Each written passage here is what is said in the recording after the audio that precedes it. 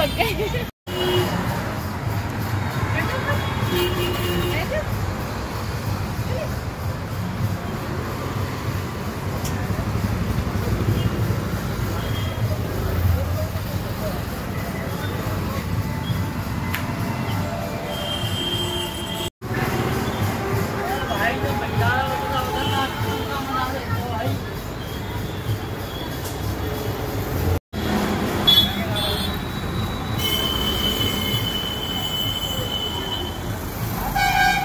तिला जाते